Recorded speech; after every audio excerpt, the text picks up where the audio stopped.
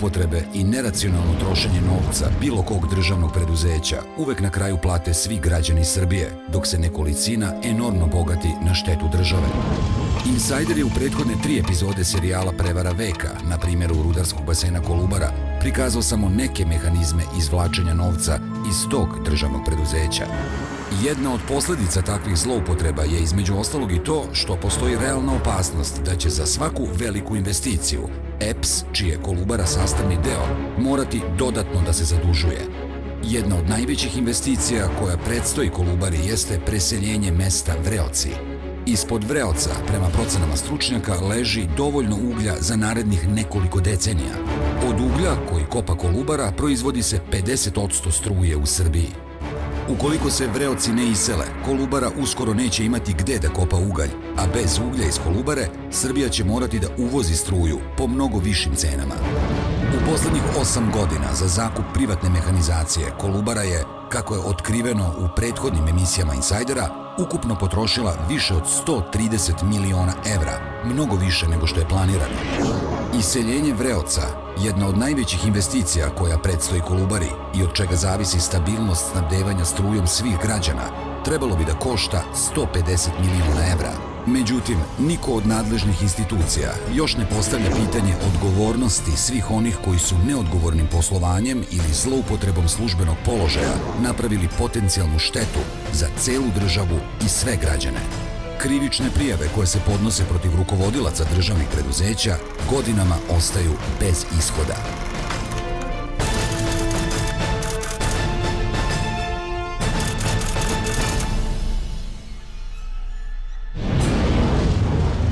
Policija, koja bi trebalo da istražuje zloupotrebe, i sama je, sudeći po informacijama do kojih je došao insajder, prethodnih godina bila uvučena u ceo mehanizam izvlačenja novca iz Kolubare. Prema saznanjima insajdera, u MUP-u je sprovedena interna kontrola, ali taj izveštaj je ostao tajna. Ispostavilo se, kako otkriva insajder, da je Kolubara plaćala angažovanje mehanizacije i za potrebe protivterorističke jedinice. U zvaničnom odgovoru MUPA Insajderu navodi se da je sektor unutrašnje kontrole o tome vodio istragu i utvrdio nepravilnosti. Nema informacije da li je neko zbog toga i kažnjen. U odgovoru Insajderu takođe se navodi da je kontakt sa tadašnjim direktorom Kolubare Draganom Tomićem ostvario komandant žandarmerije, pošto su mašine tog državnog preduzeća bile angažovane i u kopljenoj zoni bezbednosti. U odgovoru MUPA ne navodi se ime komandanta. Ugovor o donaciji sa Kolubarom potpisan je 2007. a komandant žandarmerije tada je bio Borivoje Tešić. Prema saznanjima insajdera, u periodu kada je Kolubara najviše trošila na zakup mehanizacije i kada su drastično probijani planirani okviri za tu namenu, tadašnji direktor Kolubare Dragan Tomić kao donaciju protiv terorističkoj jedinici MUPA Srbije ustupa na korišćenje bez nadoknade osam mašina. Zanimljivo je da u toj jedinici radi Predrag Pavlović, koga u policiju zaposlio lično tadašnji resorni ministar Dragan Jočić. Predragov brat, Nenad Pavlović, zvani Nex, istovremeno je bio vozač tadašnjeg direktora Kolubare Dragana Tomića. Firma Kalča u vlasništvu Predragove supruge Marije godinama je iznemljivala mašine Kolubari, ali istovremeno je bila i direktan kupac uglja od Kolubare. Insider je došao do izveštaja sektora za unutrašnju kontrolu policije, u kojem se navodi da su prilikom prijema te donacije od Kolubare kršeni važeći propisi. Osam teških građevinskih mašina gradilo je strelište u Lipovici tokom 2007. i 2008. čak godinu i po dana, a jedna mašina ostala je u toj jedinici još šest meseci. Kao nepravilnost u izveštaju navodi se i da direktor Kolubare Dragan Tomić nije naveo koje se mašine ustupaju, na koji rok, da li je sama Kolubara vlasnik tih mašina ili su angažovani podizvođači. Ne navodi se ko će obezbediti radnike da rukuju mašinama, kao ni ko će ih platiti.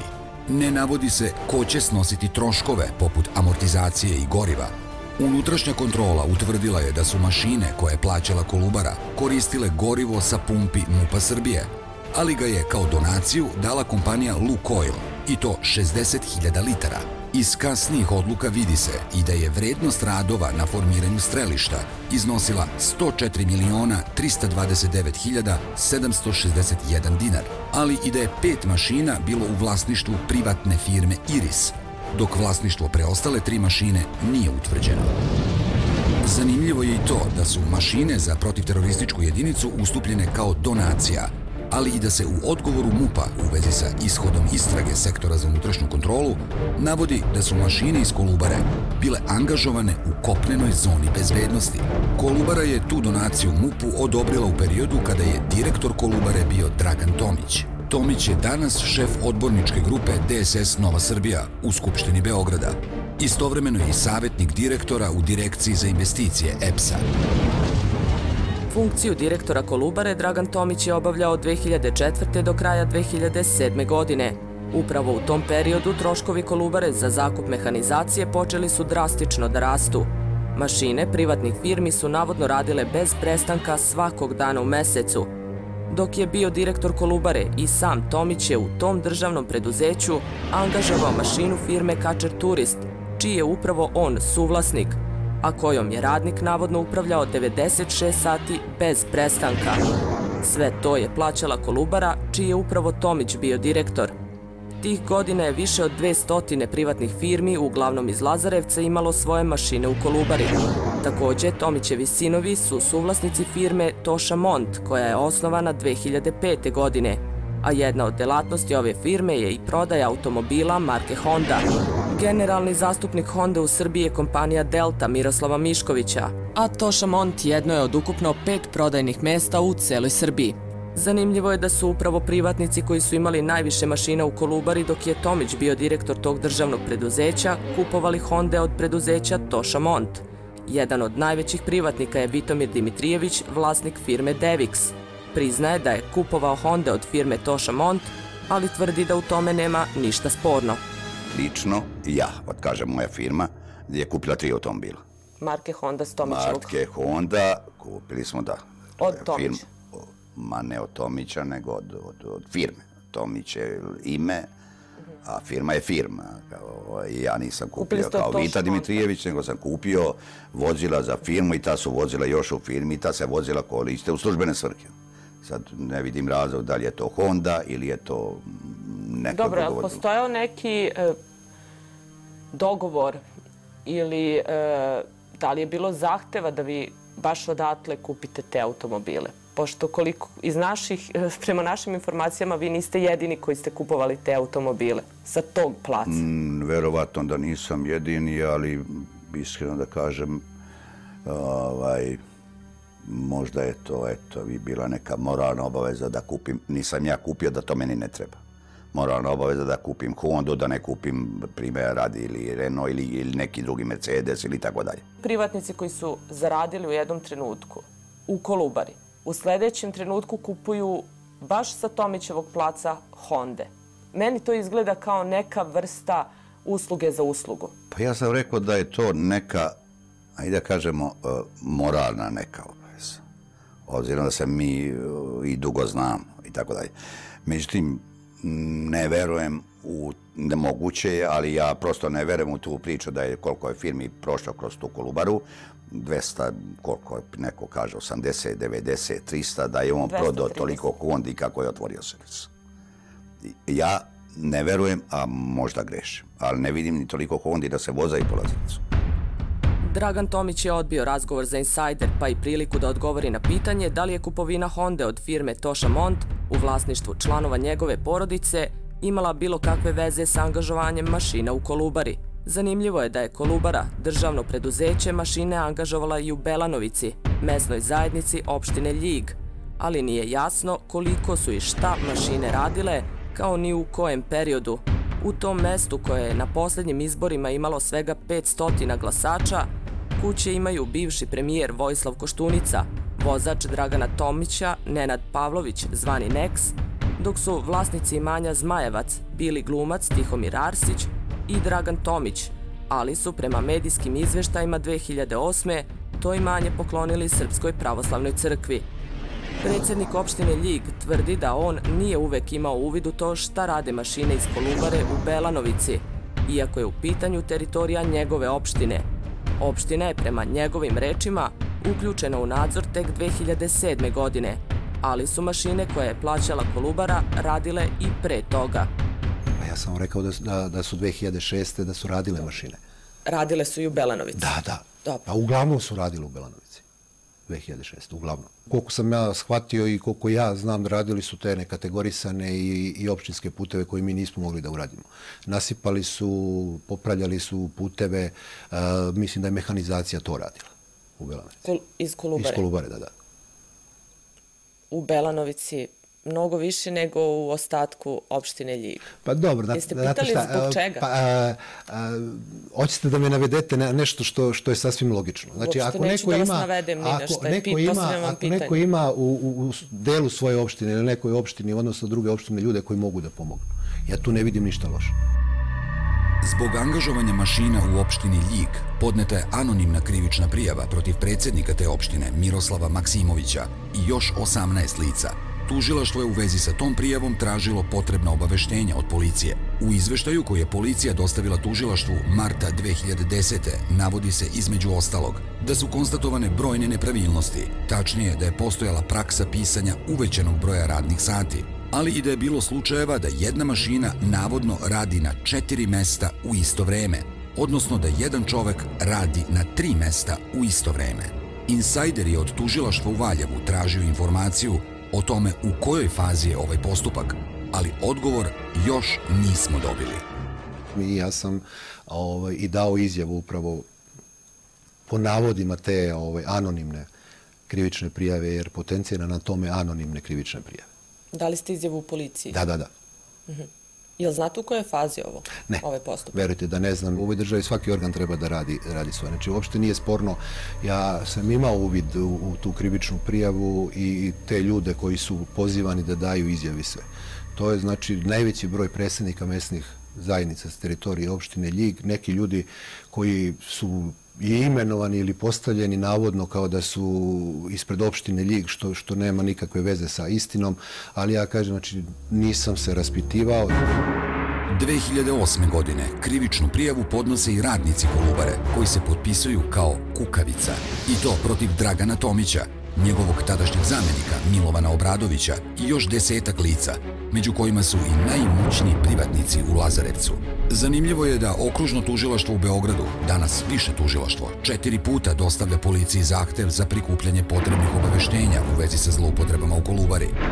Policija tek nedavno poziva na informativne razgovore između ostalih Dragana Tomića, Vladana Jovičića, Vitomira Dimitrijevića, Radosava Savatijevića Keneta. Na informativni razgovor nije pozvan Dragan Marković, pošto se i njegovo ime pominje u krivičnoj prijavi anonimne grupe građana iz 2008. godine, iako zvanično tada nije imao mehanizaciju angažovanu u Kolubari. Svu mehanizaciju privatnih firmi Kolubara je u periodu od 2004. do 2010. angažovala bez tendera. Iz Kolubare su 2004. i 2005. izdvojene čerke firme, koje su prvih nekoliko godina samostalnog poslovanja imale pravo na poslove u Kolubari bez tendera. Čerke firme su onda kao podizvođače angažovale privatnike, takođe bez tendera. 2009. godine Kolubara je bila obavezna da raspiše tender, na kojem je pobedila ponovo čerka firma Kolubara građevinar. Na bazi tog ugovora Kolubara je e, uštedela dodatnih par miliona evra godišnje. Znači, cene su, prosječne cene, mislim da su negde desetak posto još ispod onih o kojima smo pričali u augustu mesecu, kad su srezane. A,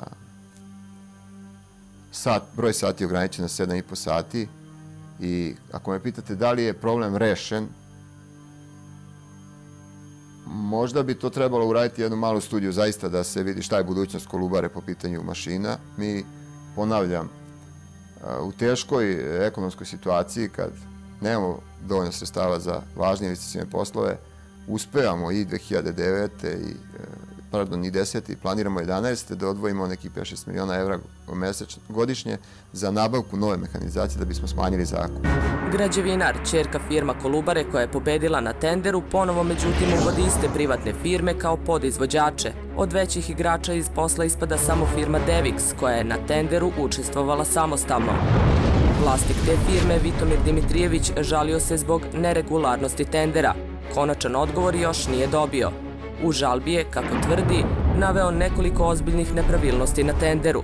Prvo, da Kolubara nije precizirala kolika je vrednost posla, zatim da pobednik na tenderu Kolubara građevinar ne navodi koji deo posla će raditi podizvođači. Takođe da podizvođači nisu registrovani kako je to zahtevano uslovima tendera, a za neke podizvođače nije dostavljena potvrda nadležnog poreskog organa. Najozbiljnija primetba se odnosi na to što građevinar nije dostavio dokaze o vlasništvu svih mašina sa kojima je pobedio na tenderu. Mi smo poveli taj upravni postupak, to je sad gore. Međutim, posao se radi, građevina radi, sve ti nedostaci su dokumentovani, znači nisu priče, nego su dokumentima e, reći uslovno sa, sa nekim lažnim, fiktivnim fakturama da imaju, da bi popunili broj mehanizacije e, sa lažnim prijavama radnika. Zanimljivo je da su iz Kolubare 2004. i 2005. izdvojene četiri čerke firme, a mehanizacija privatnih firmi angažovana je preko dve, Kolubara građevinara i Kolubara usluga. Takođe je zanimljivo da osim jedne, čerke firme do danas nisu privatizovane, iako je o tome postojala odluka vlade Srbije. Privatizovana je samo čerka firma Kolubara Univerzal – Predsednik upravnog odbora te firme od osnivanja do privatizacije bio je Miroslav Čučković iz G17+. On smatra da postoje dva razloga što ostale čerke firme do danas nisu privatizovane. Prvi je to što nema motivacije da se završi taj komplikovani posao, a drugi je bio taj što su čerke firme imale pravo na poslove u Kolubari bez tendera, što je situacija idealna za razne zloupotrebe. Ja sam e, u jednom trenutku kada je proces privatizacije toliko zahuktao i kada se videlo otprilike da je Kolubar Univerzal nešto što će biti dobra e, priča za privatizaciju, bilo je interesovanje određenih ljudi da, da naprave neki konzorcijum da to kupe i mene je direktor obavestio da su ti ljudi dosta finansijski moćni u Lazarevcu i ja sam ga pitao prosto e, šta će mi sad radimo jer mi moramo da prodamo kompaniju, ja sam razumeo prodaju kompanije najbolje, najbolje svetskoj, a ne onome ko ima pare bez obzira kako se on zove. I ovaj, suštinski sam video da postoji enormna količina novca kod nekih ljudi koji su bili voljni da plate, na primjer, 10 miliona eura za klub Univerzal. Jer su videli tu šansu da zaokruže svoju, svoj biznis u tom smislu u Lazarevcu. Pobedio Continental, nemačka kompanija ušla je unutra i sad imamo to što imamo. Da su drugi tako uradili, ova zemlja bi bila daleko bolje. Ne bi smo imali ovu emisiju. Često pričamo o tome i govorimo o društvenoj promeni e, kompletnog sistema koji očigledno nije napravljen za ovaj period ili ne to dovoljno brzo kako se očekivalo to već 2000. Zaključno sa evo 2010. A to jeste da vi imate preko dve trećine države, da kažem, u privatnom, već završenom, da kažem, nekom tranzicionalnom delu. I kada god imate e, spoj privatnog kapitala sa javnim kapitalom, to prvo nije dovoljno rešeno ni zakonskim okvirima, a s druge strane to samo po sebi odmah izaziva sumnju. Odgovornost za to što nije sprovedena privatizacija preduzeća izdvojenih iz EPS-a, što su troškovi probijali planirane okvire i za to što se kasni sa velikim investicijama neophodnim za normalno funkcionisanje energetskog sistema, snose sve stranke koje su se smenjivale na vlasti od 2000. godine. Jedna od važnih i neophodnih investicija koja očekuje Kolubaru je iseljenje mesta Vreoci, naseljeno mesto u opštini Lazarevac. Prema istraživanju stručnjaka ispod Vreoca leži oko 500 miliona tona visoko visoko kvalitetnog uglja, neophodnog za proizvodnju struje. U pitanju je investicija od opšteg državnog interesa. Širenje najveće kopa u zemlji, polja D, planirano je od 2008. do 2015. godine. Sa tim poslom se uveliko kasni, iako postoji realna opasnost da Srbija uskoro ostane bez neophodnog uglja za proizvodnju struje. Jedini izbor u tom slučaju bio bi uvoz struje po mnogo višim cenama. Investicijni radovi kasne nekoliko godina, 3 do 5 godina i da se uh, to kašnjenje veoma teško ili gotovo nikako ne može nadoknaditi. Uh, kad kažem investicijni radovi kasne, mislim na to da praktično se u julu 2009. nije znalo gde će se kopati ugalj za dve godine, a dve godine u rudarstvu je sutra, jer vi zaista ne možete da, da otvorite novi kop za manje od 3-4 godine nije, znalo, nije se znalo čime će se kopati i nije se znalo kako bi biti sredstva za sve to. Pre svega ovde mislim na nerešavanje najveće ekspropriacije u verovatno u istoriji Republike Srbije od izgradnje Đerdapa, kažu ljudi koji to bolje znaju, znači ekspropriacije, odnosno raseljavanja naseljenog mesta Vreoci.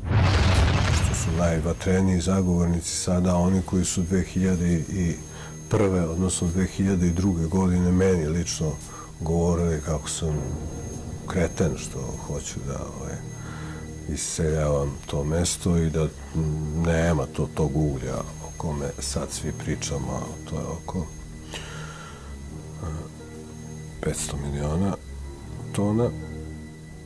Znači, tada svi ti zagovornici e, zajedno sa tadašnjim ministar Korom Udovički koji su čak i potpisali da nema potrebe da se seli. Sada su to najvatreniji zagovornici tog posla. Sada svi shvataju da je to neophodno zbog stabilnosti elektroenergetskog sistema u Srbiji i da se kasni jako sa tim poslom. Vreoci su staro rudarsko naselje koje broji 1180 domaćinstava, odnosno oko 3300 stanovnika. Po proceni stručnjaka iz Kolubare, ispod ovog naselja postoji oko 500 miliona tona visoko kvalitetnog lignita, bez kojeg postrojenja termoelektrane Nikola Tesla u Obrenovcu, koje proizvode polovinu struje u Srbiji, neće moći da rade. Za 30 godina Kolubare ekspropriacija Vreoca predstavlja mogućnost eksploatacije kažu kolegi rudari 600 miliona tona uglja ili 500 miliona tona neki drugi stručnjaci rudarske struke kažu. U svakom slučaju to je prihod koji se meri milijardama evra, a za Republiku Srbiju desetinama milijardi. Znači u narednih 40 godina. Država već dugo planira da iseli Vreoce, međutim, tek 2007. godine, za vreme vlade Vojislava Koštunice, Kolubara, opština Lazarevac i mesna zajednica Vreoci uspeli su da se saglase oko uslova iseljenja, koji su uneti u dokument programske osnove za iseljenje Vreoca. Za taj dokument aktuelno rukovodstvo Kolubare i EPS-a smatra da predstavlja dobru osnovu za poštenu nadoknadu žiteljima Vreoca. U vreme dok sam ja bio direktor Kolubare, tek se dobija, tek se dobija a, od strane vlade proglašenje javnog interesa nad znači i to je već kraj da kažem 2008. godine već početkom 2009. godine ja počinjem prve grube popise vezane u procedurom kako je to predviđeno takozvanom plavom knjigom, odnosno programskim osnovama za preseljenje naseljenog mesta Reoci, koje je donala vlada Srbije i koja dokument koji je i dan danas aktualan. Ekspropriacija Vreoca je pitanje broj jedan za Kolubaru. Ekspropriacija Vreoca znači normalan opstanak, egzistenciju Kolubare – a ja bih rekao i uslovljava dobrim delom normalan život u narednim godinama u Republici Srbiji. Ekspropriacija Vreoca je posao koji je propao, mogu reći, u dva navrata. 97. 8. godine i, i 2003. drugi put. Iza toga je dogovaran na nivou mesna zajednica Vreoci, opština Lazarevac, Kolubara, EPS i na kraju i vlada je dala saglasnost na jedan program a, preseljenja naseljenog mesta Vreoci. To govorimo o periodu 2007. godine.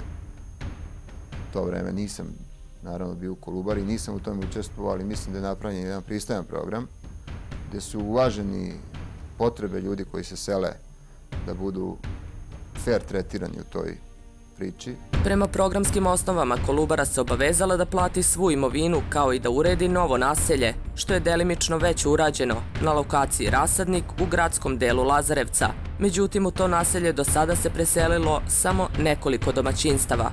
To je jedan prostor za koji se u preliminarnim anketama izjasnilo samo šest naših građana. To je prostor koji je na klizištu, to je prostor blizu nekadašnjeg vojničkog groblja iz Kolubarske bitke i uzimajući sve te faktore i mnoge druge još, znači mesta zajednica se u javnoj raspravi ogradila od toga i rekla da to ovo naselje ne odgovara potrebama naših građana, pogotovo što to nije bilo naselje gde bi se premestili i infrastrukturni ovaj, objekti tipa škole, doma kulture, crkve, ambulante i svega onoga što mi kao naselje već posjedujemo. Prema programskim osnovama za iseljenje Vreoca, sva domaćinstva moraju da potpišu pristanak za iseljenje. Kolubara im zatim prema gruboj proceni vrednosti domaćinstva isplaćuje 35 od 100 avansa. Precizna procena se vrši kako se širi kop, a onda se isplaćuje i ostatak nadoknade za celokupnu imovinu. Takođe, prema tom dokumentu, svako ko uzme avans pristaje na izmeštanje starog groblja u Vreocima. Bageri su već sada došli do oboda Vreoca, prvo na udaru je upravo Vreočko groblje. Za iseljenje groblja sa oko 5000 grobnih mesta uređena je nova lokacija. Kolubara je i tu uložila ogromna sredstva, pre nekoliko godina izgrađena je kapela, ali Vreočani i dalje sahranjuju na starom groblju. Tvrde da sama država krši njihova prava i važeće zakone, a iako su se prvo složili sa programskim osnovama, sada kažu da je u pitanju velika prevara. Ta, taj avans je prevara, naravno. Zašto? Bez obzira da li je neko uzeo ili ne, svi su svesni da je prevara. Zato što on služi samo da se, taj ugovor služi da se izvuče saglasnost za ekshumaciju grobišta. Bez jasnih garancija da će taj čovek, da će vlasnik imovine biti isljen i kad će biti isljen, jer je suština prekopati groblje. Znači, od 2003. mi smo govorili da groblje kao deo sela možda i da, uz poštovanje zakona, ali samo groblje kao groblje, pri komi se sklonilo vreočko groblje, a narod i deca ostali da žive stišnjeni između dva površinska kopa u getovu u jednoj sredini gde su mnogi ekološki problemi, veliko zagađenje, buka, prašina, vibracije, veoma gust saobraćaj e, i ostale pošasti, svakako ne. Stanovnici oko Kolubarskih kopova već decenijama se raseljavaju na nove lokacije, ali je iseljenje Vreoca do sada izazvalo najviše problema. Ključni razlog je to što sama država dugo nije imala jasnu strategiju. Jedan od problema je i to što neki pojedinci i u ovoj priči pokušavaju da izvuku što veću zaradu od kolubare, a nadležni organi često ne reaguju. Nije neobična pojava da se zemljištu podiže cena sađenjem šuma i voćnjaka ili da se stambenim objektima podiže cena registrovanjem lokala, ali je najuzbiljniji problem divlja gradnja koja cveta poslednjih nekoliko godina, a čiji je jedini cilj zarada. Zbog ovih zloupotreba 2007. godine u februaru je urađen ortofoto snimak, satelitski snimak terena. Vlada je donela odluku da će platiti samo ono što se u tom trenutku zateklo.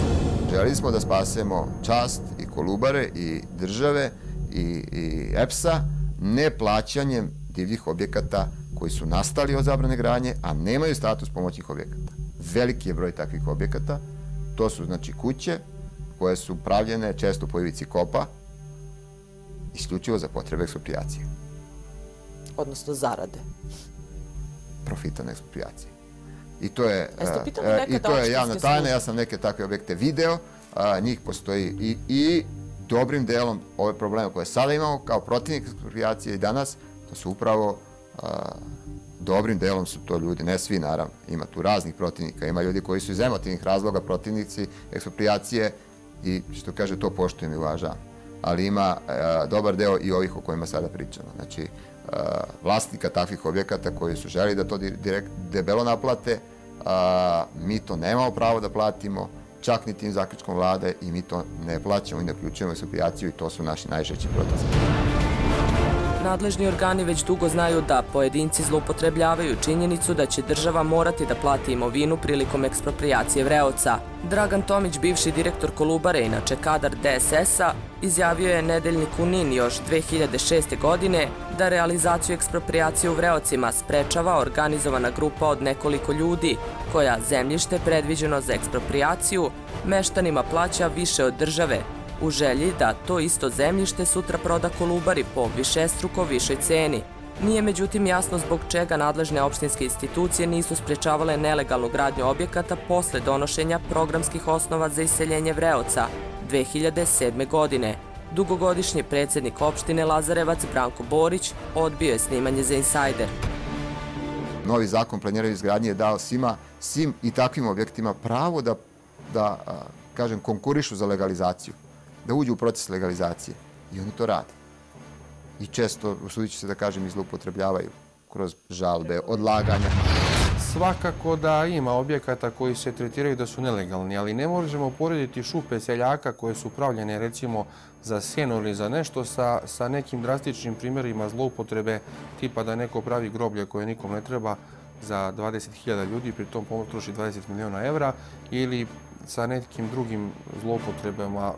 Računica je da će ekspropriacija Vreoca koštati oko 150 miliona evra i za to mora da se pronađe novac, jer u suprotnom Srbija ostaje bez struje. U programskim osnovama za iseljenje Vreoca navodi se da će to platiti javno preduzeće EPS i rudarski basen Kolubara. Direktor EPS-a odbio je snimanje za Insider, a na neka od pitanja je odgovorio pisanim putem. Iz odgovora je jasno da svako neracionalno trošenje i probijanje planiranih troškova, primjera radi za zakup mehanizacije, ostavlja posljedice upravo na budžet za investicije.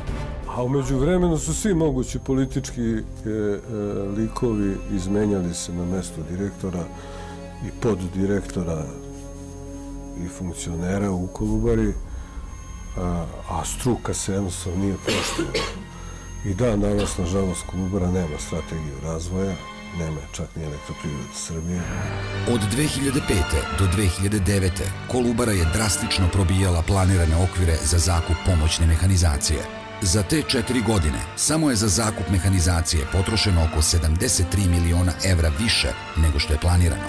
Istovremeno, tih godina su drastično probijani i planirani okviri za sponzorstva i donacije. Najveće izdvajanje, koje praktično predstavlja neku vrstu donacije, jeste plaćanje mašina za infrastrukturne radove u nekoliko opština.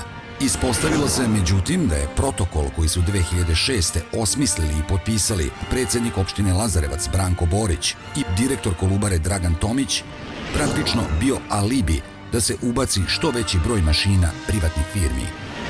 Jedna od nelogičnosti u vezi sa protokolom je to što je taj dokument proširen aneksima i na druge opštine, pri čemu osnovni dokument u njihovo ime potpisuje predsednik opštine Lazarevac, Branko Borić. Ja vam kažem da taj protokol nisam vidio. I upravo vam, upravo vam i to kažem. Znači, kako smo mi mogli da, da vršimo nadzor i kontrolu a, kad nismo videli protokol, a nama je ta pomoć dobrodošla. Kolubara je angažovala uh, mašine, znači ono, ono, mimo ovog protokola što ste vi rekli, znači 2006. godine ste vi pominjali taj protokol, uh, te godine uh, nadzor je bio isključivo znači iz rejka Kolubara jer uh, mašine su došle, radile na teritoriji opštine Ljig, oni su poslali svoje ljude koji su kontrolisali nad, uh, i radili nadzor nad tim mašinama, tako da opština Ljig nije imala uvid u to ovaj, koliko su mašine radile, ali mislim, verujte da čim neko nešto hoće da vam pomogne, tu ni trenutka nije bilo sumnje da, da, da, da nešto neće biti u redu. Kolubara je radove plaćala i u opštinama u Blajkovac, Aranđelovac, Barajevo. Osim u pomenutim opštinama, jedna od nelogičnosti je i to što je Kolubara plaćala mašine za radove u opštini Topola, iako ta opština nije blizu Kolubarskih kopova, pa nije mogla da trpi posledice rudarskih radova. Predsednik opštine Topola takođe tvrdi da je nadzor u toj opštini vršila samo Kolubara. Urađena su ta dva kilometra lokalnog puta ka manastiru Nikolje, mašine su bile, mi nikakve veze nismo imali sa tim ni koliko su radile radnih sati, jer su nam rekli kad urade, tad se vraćaju. Njihovi ljudi su to pisali, mi kažemo sa tim nemamo nikakve veze. Do danas nije utvrđeno na osnovu čega su uopšte direktor Kolubare Dragan Tomić i predsednik opštine Lazarevac Branko Borić potpisivali dokumenta koja se tiču angažovanja mašina koje plaća Kolubara u drugim opštinama, ali i za potrebe Srpske pravoslavne crkve. Niko od nadležnih nije utvrđivao njihovu odgovornost, posebno ako se uzme u obzir da Kolubara inače plaća nadoknadu opštini i državi za eksploataciju uglja. Uz to je dužna da nadoknadi štetu nastalu širenjem kopova. Ogromni troškovi za zakup privatne mehanizacije, plaćanje mašina i kad stoje u mestu, osmišljavanje protokola za radove u nekoliko opština, čime je drastično povećan broj angažovanih mašina, mnogo veće izdvajanje za sponzorstva i donacije od planiranih, dovele su do toga da se istanji u budžet Kolubare za investicije. Zbog svega toga, Kolubara će novac za iseljenje Vreoca, od čega zavisi da li će biti dovoljno uglja za snabdevanje Srbije strujom, morati da uzme od EPS-a. Ako ni EPS ne bude imao sredstava, jedini način da se plate velike, a neophodne investicije, poput iseljenja Vreoca, biće novi krediti. Troškovi za zakup bili su najveći upravo 2008. kada je direktor Kolubare bio Vladan Jovičić. Međutim, drastičan rast troškova počinje za vreme njegovog prethodnika, funkcionera iste stranke, Dragana Tomića. Upravo je u njihovo vreme, prema dokazima do kojih smo došli, bilo moguće da Kolubara plaća mašine privatnih firmi koje su navodno radile ceo mesec, bez jednog minuta pauze. Vi kad pogledate radni nalog mašine, te, vi, vi na njemu možete naći tri ili pet ili šest potpisa. U hirarhiji rukovođenja na kopu od poslovođe pred ne znam koga tamo šefa, direktora i slično. Ali ja na neki način ne krivim te ljude jer znate mi smo izgubili svaki prag morala. Mi e, e, ti ljudi to nonšalantno potpisuju jer je to tako neko rekao. Nekad niko nije odgovarao. Tako da to je teško. Kakav sistem praćenja? Ja, ja vam rekoh, sistem praćenja bi bio prvo kako je ugovorena ta mašina. Ja hoću da vama kažem, one su, ugovora, one su angažovane, to Bog sami zna kako i ko je čiju angažovao. Normalno da je menadžment Kolubare ovaj, za to odgovoran, ako je odgovoran, on će vjerovatno da objasne da je to bilo potrebno. I onda se nađu svoji ljudi koji kažu potpiši to, nije to ništa. Pa i nije ništa kad nikad niko zbog nemoći i nehtenja države zato nije odgovarao, jer su postojale prijave, anonimne, ovakve, onakve i krivične i slično. Poslednjih deset godina unutar EPS-a i 11 privrednih društava koja posluju u sastavu elektroprivrede Srbije, na funkcijama u tom preduzeću rotiraju se isti ljudi. Aktuelni direktor EPS-a, kadar demokratske stranke, Dragomir Marković, u poslednjih 10 godina obavljao je funkcije direktora jednog sektora u EPS-u. Bio je izvršni direktor EPS-a, a zatim izvršni direktor Tenta. Aca Marković, aktuelni predsednik upravnog odbora EPS-a, kadar SPS-a, pre toga je bio koordinator u direkciji za upravljanje EPS-a, pomoćnik direktora Direkcije za razvoj investicije, član Saveta Regulatorne agencije za energetiku, Petar Knežević, aktuelni direktor Tenta, kadar DS-a. U poslednjih 10 godina obavljao je funkciju tehničkog direktora Tenta, ali i predsednika upravnog odbora EPS-a i to u vreme najvećeg ispumpavanja novca iz Kolubare. Nebojša Ćeran, kadar DS-a, obavlja funkciju direktora Kolubare od jula 2009. Pre toga je bio VD generalnog direktora Tenta, zatim pomoćnik generalnog direktora Tenta, od 2007. direktor direkcije Tenta. Aktuelni direktor Kostolca, privrednog društva EPS-a, jeste Dragan Jovanović, kadar SPS-a. Jovanović je bio direktor Tenta do januara 2001. odakle je smenjen posle 5. oktobarskih promena. 2004. vraća se u EPS kao direktor jednog od sektora, a zatim prelazi na funkciju zamjenika direktora Kostolca. Dragan Tomić, aktuelni savjetnik generalnog direktora EPS-a, obavljuje funkciju direktora Kolubare, zamjenika generalnog direktora EPS-a, a u istom periodu bio je i predsednik Skupštine privrednog društva Rudarski basen Kolubara. Nekolicina ljudi godinama se smenjuje na funkcijama u EPS-u, tako što su u nekom trenutku jedni drugima šefovi. Pa se postavlja pitanje da li zaista postoji ozbiljna volja da se zloupotrebe i neracionalna trošenja do kraja ispitaju. Kada su troškovi Kolubare bili najviši, direktori tog državnog preduzeća bili su kadrovi DSS-a, Međutim, 2008. u trenutku najviših troškova, u upravnom odboru EPS-a svoje predstavnike imale su sve stranke koje su i danas na vlasti. Svi oni imali su uvid u poslovanje Kolubare, koja je deo EPS-a. Prva instanca je upravni odbor EPS koji je usvajao planove svih 11 kompanija. Nakon toga, naravno, ministarstvo e, energetike, premijer. A što se tiče kontrole, apsolutno je jasno da je upravni odbor EPS-a je neko ko kontroliše to i e, Ministarstvo energetike kao neko koji dan danas kontroliše sve energetske resurse zemlje. Bilo da su u pitanju hidrocentrale, termocentrale ili rudnice. Vi ste e, funkcioner e, stranke G17+. E, da li ste vi imali e, svog člana u upravnom odboru EPS-a tih kritičnih godina? E, to je možda danas pitanje za Srpsku naprednu stranku. Zašto? Pa zato što je član upravnog odbora EPS-a E, Zoran Mihajlović Milanović trenutno njihov šef resornog odbora za energetiku i neko ko se pominje kao budući ministar energetike ako Toma Nikolić dođe na vlast. Ali tada je bila član G17+, odnosno funkcioner G17+. Da li je bilo koga, hajte da kažemo, alarmirala zbog svega što se dešava u Kolubari? Pa ne da ja znam. Prema istraživanju insajdera, Kolubara je u periodu od 2005. do 2009. trošila drastično više nego što je planirano za zakup mehanizacije. Tokom te četiri godine potrošeno je oko 106 miliona evra, a planirani trošak je bio oko 33 miliona. Dakle, oko 73 miliona evra potrošeno je više nego što je planirano. U tom periodu je bilo moguće da jedna mašina radi 24 sata bez prestanka ceo mesec, da jedan radnik upravlja mašinom 96 sati bez prestanka. Praksa da mašine rade 24 sata dnevno izričito je zabranjena 2009. godine. Broj mašina privatnih firmi drastično je smanjen, a ukupni troškovi su smanjeni za čak 60%. Međutim, većina krupnijih igrača i dalje iznajmljuje mašine Kolubari. Najzanimljiviji su svakako oni koji imaju političke veze. Između ostalih, u poslu ostaje firma Daka u vlasništvu snahe Dragana Markovića Palme, dok firma Palma u vlasništvu Dalibora Markovića, Palminog sina, i dalje kupuje ugalj direktno od Kolubare.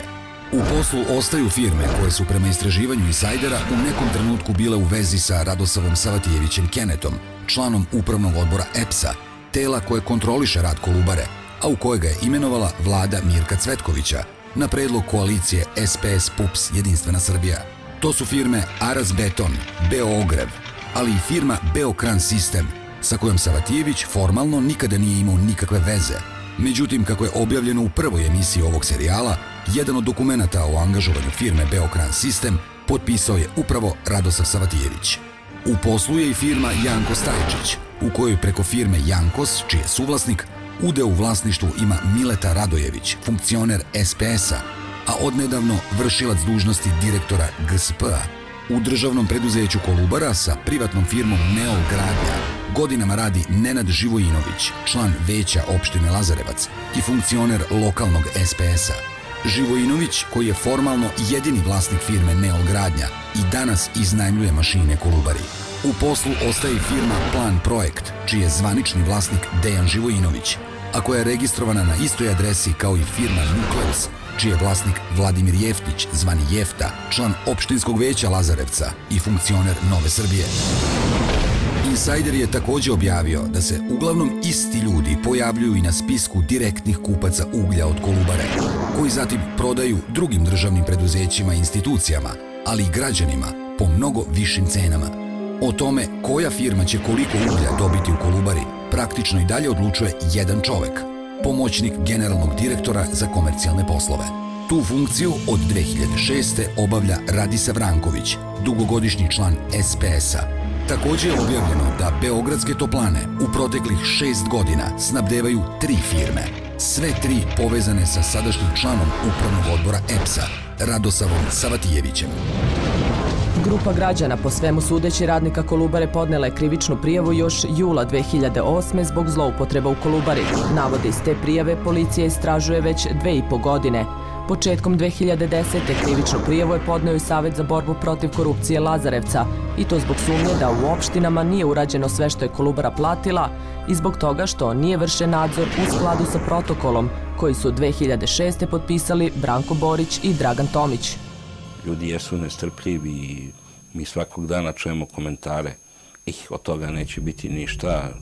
Vi znate da je jako neprijatan komentar bio e, upućen i na vašu kuću. Kakav komentar ste vi čuli na račun naše kuće? Pa, vrlo neprijatan komentar. Da, oni su snimali Insider, da, snimali su Insider, ali je neko platio da se to nikad ne objavi i da se to nikad ne obelodani. A znate ko je da je... pričao? Ne, ali e, i vi kao i ja znate da su te priče po nekim koloarima kružili.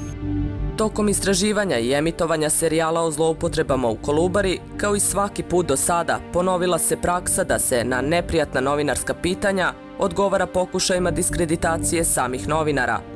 Neki od pokušaja diskreditacije i zamene teza su i plakati koje su po Lazarevcu posle svake epizode lepili upravo oni koji su pomenuti u negativnom kontekstu emisijama. Sadržina plakata posle svake epizode poprimala je sve ozbiljnije oblike.